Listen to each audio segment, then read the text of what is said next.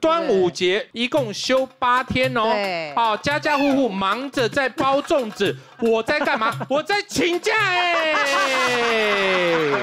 请三天呐，哦休八天哦，休八天哦，好，哦，那端午节是。那赵群你会建议我们对，呃，我会建议去这个地方，马尔蒂夫哦，不是，这是在哪里？这是比较大溪地吗？大比较溪地昂贵的地方，大溪哦地。看吧，哇，哇这个厉害了，其实我们因为端午节吃吃大溪豆干，我们就很满意。对 呀，因为这怎这个怎么讲嘿？因为六月份的时候去大溪地，因为那里不太会下雨，所以六月份去那边的时候是最好的时候。但是它有一点点贵这要怎么去呀？呃，我建议大家可以先飞东京转机，然后过后从东京飞到大溪地的本岛之后呢，隔天早上再飞去波拉波拉岛，所以要转两次。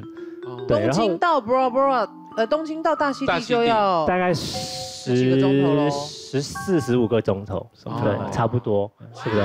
然后过后再搭那个一个小时的飞机从本岛到波拉波拉岛，然后机票会有一点小贵，大概四万五左右。所以你去来来回就等于花掉四天嘞。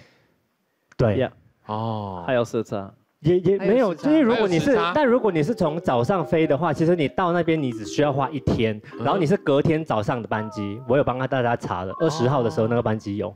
那呃，如果你的口袋比较多钱的话，嗯我的朋友去住那个 St. Regis 的饭店，他一个晚上大概哇三万多块，然后里面的设施还有他们的水上屋哇哇都你看是这个阳台非常不得了了吧非常漂亮的。哇塞，这样哇好像三万多。直接跳下去，但是我必须讲，因为我去过很多个岛，然后嗯，大溪地真的是我最喜欢的岛，也是最漂亮的岛。然后我觉得一生中一定要去一次。是。那如果你的荷包没有那么满的话，你可以住比较便宜的饭店，叫 International Continental。我是住在那边，那个晚上一个晚上大概一万多块。你讲的这个也是五星贵啊。没有一个晚上一万多块，比这个比那个三万块的还要还是很贵啊，一万虽然你会觉得住便宜，可能风景没有那么漂亮，但没有，是。它的风景还是一样很漂亮，而且它的水上乐园的活动其实都是外包的，所以你不管住在哪一个饭店，你都可以往外面的水上或乐园去订。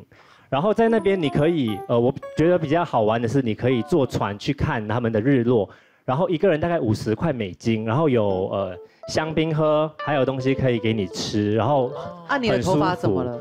就风很大，所以很舒服。然后在那边呃还可以去浮潜，然后我觉得浮潜很漂亮，因为他们的水都是非常的清澈。哇，真的很清澈对。在西地是全世界最好要去呃全水我真的觉得一定要去一次。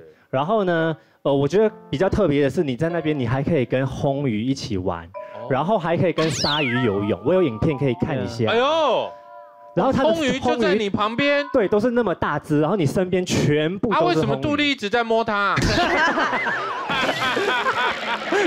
然后这个是鲨鱼，然后对啊，那个那个船长他们会先喂鲨鱼一些肉给他们吃，哦呦喂，然后之后我们就会再下去游泳，就你看，啊？鲨鱼吃饱啦，也做对，然后我们就下去游泳。好可怕哦。我觉得这个不会危险，不会危险，不会危险，我很奇怪它不会咬。那这个是我唯一觉得很特别的，然后一定要去那边体验。那如果从法国飞过去的话，要多久二十四个小时，啊？哇也要那么久？从巴黎到 LA，LA 到巴贝特是大溪地的那一个对，其实从台湾去要二去十到二十四个小时，从台湾去日本，然后再转是最快的。但是因为我自己是去纽西兰玩，然后转机，纽西兰也可以转去奥克兰，哦纽西兰转到那边多久？呃，六个小时而已。哦对，，所以看大家要怎么样去安排如果有去纽西兰玩，可以顺便安排这个行程。对哎可是这样地方，我觉得大家说要生活一直要去的，因为真的非常非常。可是很多地方大家都说是有一年呃一辈子一定要去一次，嗯比如说马尔蒂夫啊，我今我今年就是去了马尔蒂夫、斐济还有大溪地。哇，我的天哪！不是不是不是好羡慕哦。那所以赵群，你的人生够了。不是因为我很喜欢海岛，所以我觉得这些海岛人生中要去一次，所以我就去玩看看。然后这些海岛真的最好最美的就是大溪地，所以我建议大家一定要去一次。哪一个最贵？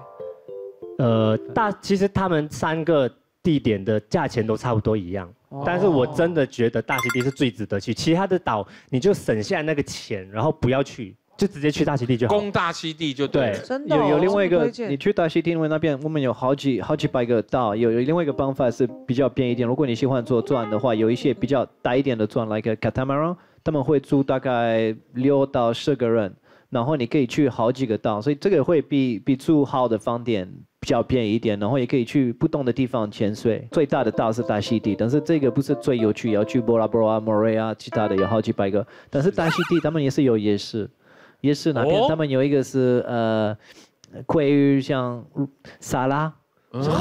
鲑鱼沙拉，Yeah，but 哇。raw raw fish，呃呃，生鱼片。生鱼生鱼生鱼片片的沙拉太好吃了，真的啊真的太好吃了。你之前是在大溪地住两年吗？，对啊，我住那边两年。当兵的时候去。对啊，，军队的时候。当兵在大溪地真的很爽。那么酷哦！哇，因为那边也是法国的嘛，对不对？对啊，这是法国。应该一点都不辛苦了吧？你们？这太好玩了。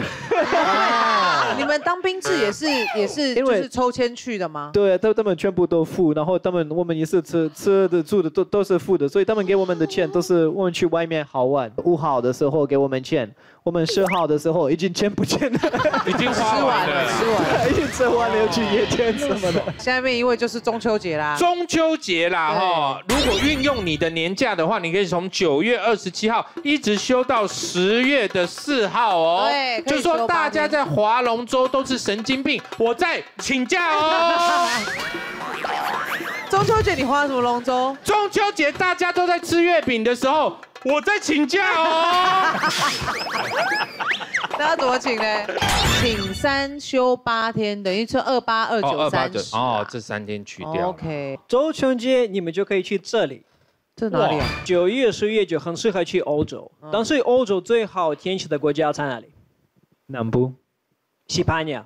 是没法？国，法国，哦法国。西班牙还是西班牙？对，这是西班牙。可是这个不是在西班牙，这个是一个地方叫马洛卡。然后如果你们从台湾你要去，你们要飞到西班牙，飞到西班牙就台北、巴塞罗那差不多要十五个、十六个小时。然后我去年去，呃，没有，我五年去，五年前去了，我花了差不多一万八。然后你先到巴巴塞罗那，你可以在巴塞罗那玩两天。然后坐飞机去马洛卡，去马洛卡坐飞机机票差不多六百七百块，去那边然后回来，泰币吗？对，泰币。哦。其实因为我不知道为什么，然后要飞一个小时，你知道机票很便宜，但是如果你要哎，坐六百比去澎湖、金门还便便宜宜。啊，便宜啊，真的便宜。然后如果你要坐船，船也有，但是坐船比较贵，船就去那边两千块。然后如果你不喜欢呢教堂，你可以去那边有很多小小的城市，就就这样子。哎呦，因为他们有小的城市都跟欧洲一样，呃，做一模一样。所以你像你去那边就其实像欧洲，然后很方便，因为呃这个倒不大。然后如果你喜哎，欢，它房子都五颜六色，哎，会不会是韩国的釜山？蛮像的。这就是像像西班牙、葡萄牙、法这很国漂亮也漂亮很像对哇，然后这个地方就是在这个岛北部，那边有很多海边，然后也特别的 caves。那边有一个很流行是用那种游艇，然后可以在那边就是坐那种游艇是几天，呃，可能是几夜几天这样子，然后出去，然后他们会带你去一些这种很很漂亮的那个小小玩啊之类的，然后到那边、那边附近。我那个我的高中的那个同学一直在做这个，现在哦，游艇哦。对，然后那个钱都超赚，然后那些游艇非常非常的美。最大的好处是马洛克其实算是一个很便宜的地方，因为有欧洲人喜欢去那边。为什么？因为夏天你去意大利、法国很贵，所以大家就英国人、德国人喜欢去马洛卡，因为那边如果你要住饭店，你什么都有，从二十块欧元到两百、三百欧元都有，所以你要便宜的有，要贵的也有。然后吃的比台湾都两倍便宜。就是西班、西班牙已经比台湾便宜多了，然后这个马洛卡更便宜，因为西班牙人就很喜欢吃跟喝酒，所以那边如果你喜欢吃喝东西，就可以去马洛卡。因为岛很小，我那边租车子一天五块欧元，哦，非常非常五块欧元。好便宜为什么哦！不到两百块，蛮好的哎两百多。哎，然后你那边如果五天六天，就什么都到什么多地方可以去啊。在中秋连假的时候，其实我推荐大家可以去美国的 LA。因为我去年的时候其实就是在这个时间去，然后机票非常的便宜，因为其实七八月的时候去美国的机票大概要四万多，八天不会太赶哦。呃，我觉得比去大溪地好很多吧。哎，那倒对是哦，，因为他那个去 LA 很多的班机是可能晚上十一点的，然后呢坐大概十二个小时、十三个小时，加上时差，你到那边其实也是才早上，然后你一整天也可以刚开始。对，然后那时候呃，我其实我最近也有在安排明年要去玩，然后我查七八月的机票非常贵，但是九十月的机票。加税之后，可能才一万八或一万九。哎，可是其实我还蛮建议，如可以坐下午的班机，下午的班机你到那边也是下午的时间，还蛮多时间充实，而且下午班机都比较便宜。对对对，也不错，就是看自己时间上面的安排跟规划。对，因为他说十二点多，我以前也是多搭那一种的嘛，就是晚上十点多你会觉得上飞机睡觉，然后到了刚到了就到了嘛，嘿，啊不然呢？到到了有时候还要还要转机哦，还要对，就直飞就到了。但是呢，我会发现说你晚上出关什么到家弄一弄，其实都凌晨两三点了。对，那你隔天又时差又干嘛，就搞得很累。那其实下午班机，我后来很喜欢下午班机，原因第一它比较便宜，嗯，第二呢，L A 现在可以飞 Ontario，就是比较近。然后，但是他好像都只有下午的班机，然后下午飞到你还可以出来弄一弄，还可以吃个晚餐，然后休息一下，然后就进广告喽，就就是进什么广告？就可以晚上睡觉，然后隔天又更有精神。又是一天，对对对。对，然后因为我推荐大家在这个时间去呢，是因为刚好可以遇到他们的万圣节。很多人想说，哎，万圣节不是十月才有吗？其实没有，它从九月中开始到十月底都会有各式各样的万圣节的活动。除了游乐园之外，他们在他们镇上也会会有很多。呃，期间限定的小区，然后把你规划成一个鬼城啊、鬼镇，然后有很多网络上你可以查到不同的故事，然后帮你安排很多那种杀人情节啊，或是鬼怪的。所以我觉得很推荐大家在九月底、十月的时候去玩一下那边的万圣节，因为真的超级恐怖。有很多人说日本大阪的那个环球影城的万圣节已经很恐怖，但是我那时候去我。我直接最后是吓到累到，我说我拜托我要回家了，真假？真的太恐怖了，很好玩，而且我觉得十月除了去玩，呃九月底去玩，呃万圣节之外，你还可以去参加 L A 的啤酒节，因为啤酒节很多人想说，哎，德国的啤酒节应该比较有名吧，但其实 L A 的啤酒节也很有名，它的门票好像才。三四十块美金，但是你可以喝全部整场的酒水都不用钱，对。然后而且他一票喝到底，对对对。然后他那边有呃各种他们的店家自己精酿的两百多种的啤酒，然后当地也会有当地的音乐节、音乐季，所以我觉得可以去那边体验一下啤酒节。欢迎大家订阅我们的 YouTube 频道，只要动动手指就可以给我们很大的鼓励哦。记得要按下铃铛，让你收看最新的影片哦。如果还看不过瘾的话，记得去点选这边影片哦。